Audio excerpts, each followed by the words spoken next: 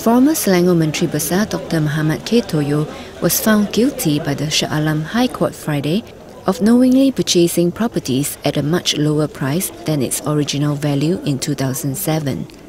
Justice Mohtarudin Baki sentenced him one year in jail from Friday and ordered his two pieces of land and a bungalow in Section 7 be forfeited.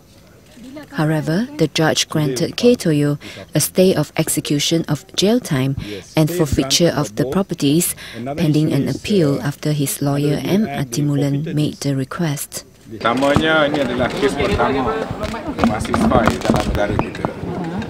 Uh, bukan sahaja negara kita di India dan negara kita. Uh, dan ini bukanlah uh, judgement yang terakhir. Jadi saya akan buat uh, rayuan di mahkamah rayuan.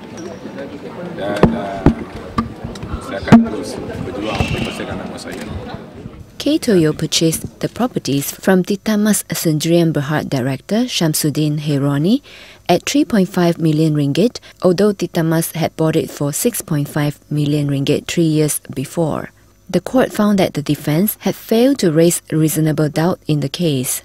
Justice Mohtarudin said in his ruling that he found the key witness Shamsuddin not an accomplice of the accused. Shamsuddin was initially charged with abetting Dr. Khir, but later had his charge withdrawn. He had become a witness for the prosecution.